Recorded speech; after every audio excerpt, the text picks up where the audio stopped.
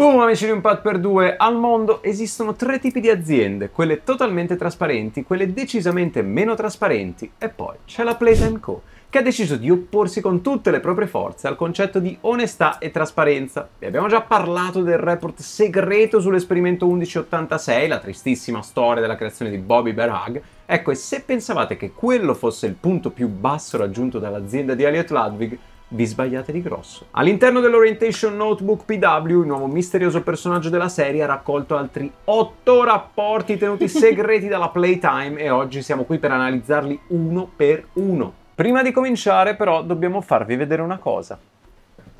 Allora, fino ad oggi, quando volevamo farvi vedere del materiale, abbiamo sempre dovuto lavorare un po' come degli scappati di casa, ma finalmente le cose stanno cambiando perché grazie a Flexispot ora possiamo farlo come delle persone serie. Ci è stata inviata questa scrivania automatizzata Flexispot E7 che ha la fantastica caratteristica di poter essere regolata in altezza a piacimento. Ora potremmo dirti che ne esistono due varianti, una che si alza da 58 cm fino a 123 e una che da 68 arriva a 133, che sopporta fino a un carico di 125 kg e che può memorizzare fino a 4 altezze, che ha una porta di ricarica USB e un sistema anticollisione, nonché un sistema di sicurezza per i bambini, ma preferiremmo mostrarvi una situazione tipica. Poniamo che stiate acquistando la vostra nuova scrivania Flexispot approfittando degli sconti e delle promozioni che l'azienda farà ad agosto per festeggiare il suo ottavo anniversario e che un ospite indesiderato venga a curiosare. Normalmente dovreste chiudere il vostro computer e lanciarlo in fondo alla stanza, andando a spendere così una cifra per acquistarne uno nuovo. Ma grazie a FlexiSpot potete semplicemente alzare la vostra scrivania fino ad un'altezza non raggiungibile dal vostro intruso. E quando quel furfante si sarà arreso, potrete tornare al vostro lavoro premendo semplicemente un tasto. Grazie FlexiSpot, questa scrivania è flextastica.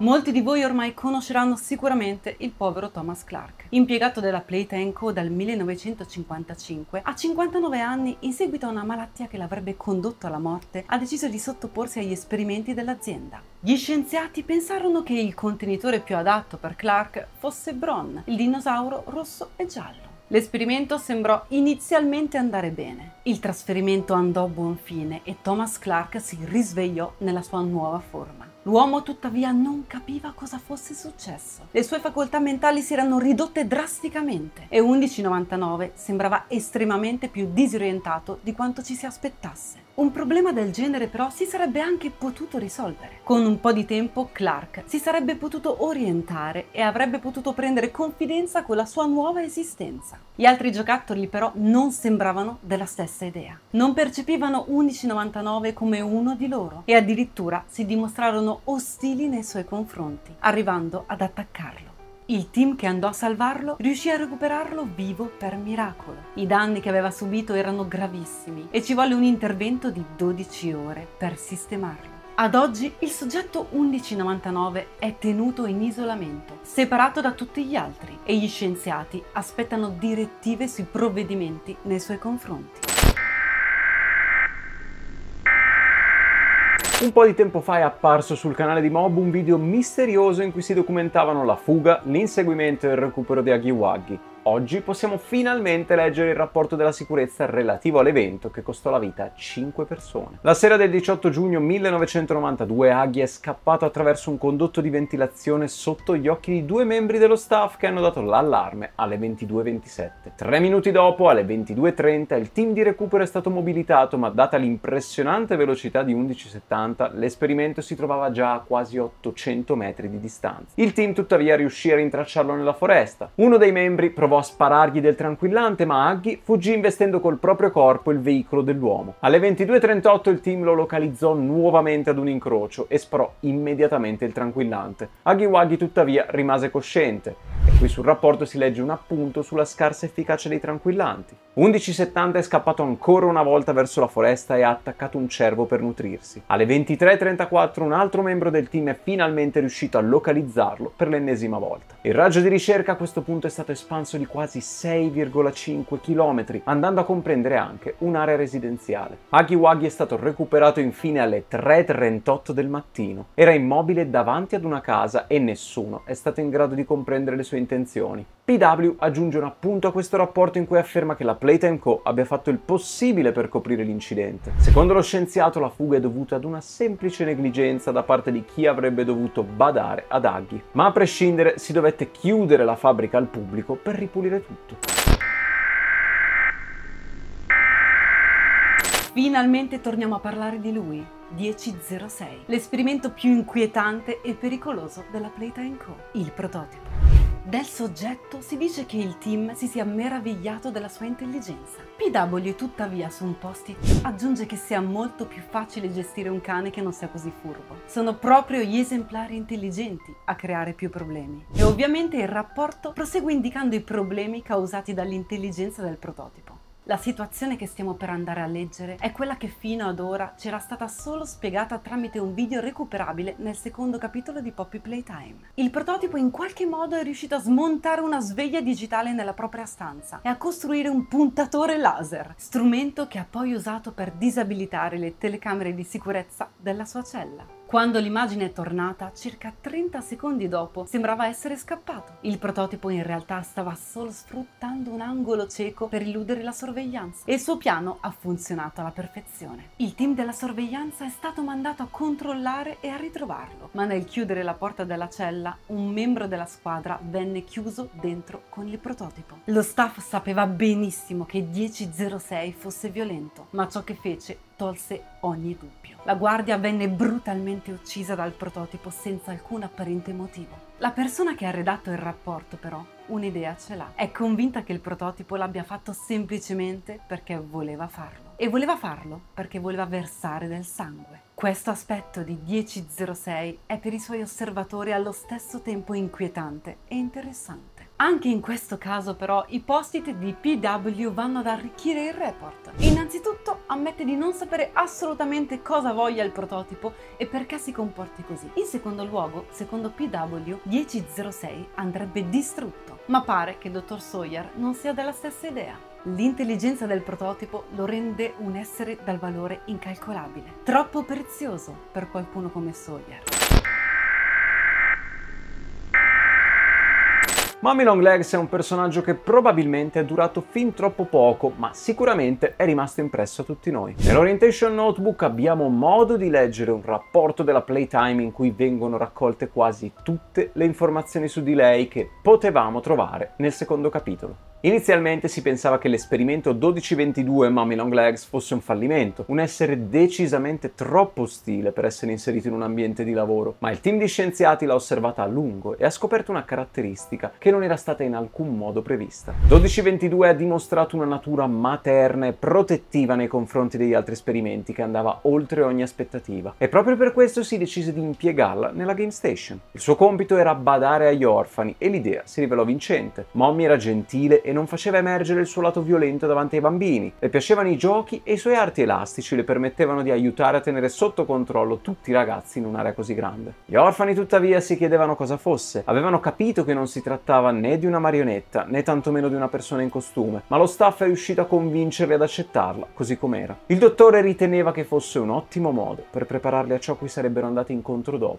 Il legame tra gli orfani e Mommy Long Legs si è poi ulteriormente rinforzato quando è stato lanciato il giocattolo con le sue fattezze. La vedevano come qualcuno di più familiare, ma alcuni impiegati della Game Station continuavano ad avere riserve sulla sua stabilità emotiva. 1222 reagiva molto male quando scopriva che uno degli orfani barava e lo stesso succedeva quando si rendeva conto che alcuni fra gli orfani partivano per poi non tornare mai più. Aveva inoltre l'abitudine di aggirarsi in alcune aree esterne alla Game Station in cui i lavoratori che non avrebbero dovuto sapere della sua esistenza erano in grado di vederla. Per mettere a tacere certe voci che si erano diffuse, la Playtime diramò un comunicato in cui affermava semplicemente che quella strana creatura fosse un ragno e che non ci fosse nulla da temere. PW sapeva benissimo cosa fosse l'esperimento 1222 e si stupì parecchio di come gli impiegati credettero alla storia della Playtime. Anche perché se un ragno del genere fosse esistito davvero, probabilmente nessuno sarebbe sopravvissuto vissuto. Ciò che noi sappiamo e a cui non si fa riferimento in questo rapporto è Mary Payne, la vera identità di Mommy Long Legs, la bambina su cui fecero terribili esperimenti per poi trasformarla nell'essere che ci ha dato la caccia nel secondo capitolo di Poppy Playtime.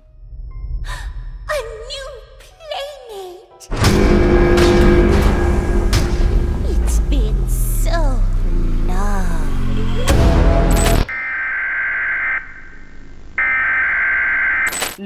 esplorazione della Playtime abbiamo modo di conoscere indirettamente Rich, un burbero impiegato a cui il modo di lavorare di quell'azienda proprio non andava giù. Rich aveva un confidente all'interno dello staff, una persona di nome Avery. Un memo della sicurezza destinato alle risorse umane però potrebbe portare a pensare che Avery in realtà non fosse poi così amico di Rich. Al suo interno si legge che Lovitz è stato colto ad avere conversazioni con i suoi colleghi. Ciò che non piace alla Playtime però è l'argomento di queste conversazioni.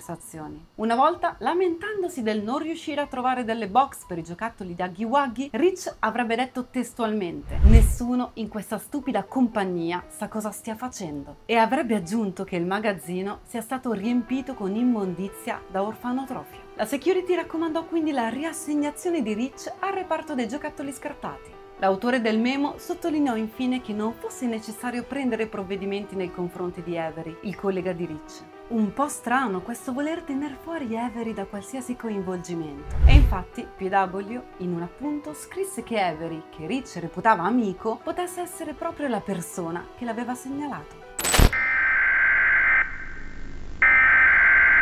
Il terzo capitolo di Poppy Playtime ci ha mostrato per la prima volta il fumo rosso, una sostanza misteriosa che abbiamo sperimentato in prima persona esplorando il Playcare. E oltre al rapporto diffuso tramite l'ARG che ha preceduto Deep Sleep, possiamo finalmente leggere qualcosa di nuovo all'interno dell'Orientation Notebook contenente alcune osservazioni. Il gas denominato fumo rosso è stato utilizzato ogni notte sui residenti del Playcare. Lo scopo andava ben oltre il voler facilitare il lavoro ai consulenti assicurandosi che i bambini dormissero a lungo tutte le notti volevamo assicurarci di dare loro un sonno di qualità. Le nostre osservazioni sono estremamente positive. Aver suggerito di dormire sotto l'effetto del fumo rosso non solo ha dato loro più energia, ma ha anche migliorato le loro funzioni cerebrali durante il sonno. I bambini hanno mostrato migliore memorizzazione e una migliore gestione delle emozioni durante la giornata. Tutto ciò può quindi aiutarli a raggiungere il loro massimo potenziale. Alcuni problemi sono stati osservati in una ristretta cerchia di individui. Sono stati riscontrati intensi incubi ed episodi di sonnambulismo accompagnati da un'anomala attività cardiaca. A ciò si aggiungono pupille dilatate, forti allucinazioni, brividi e nausea. Alla luce di queste osservazioni si è discusso in merito al continuare con l'utilizzo del fumo rosso. Secondo alcuni si dovrebbe continuare,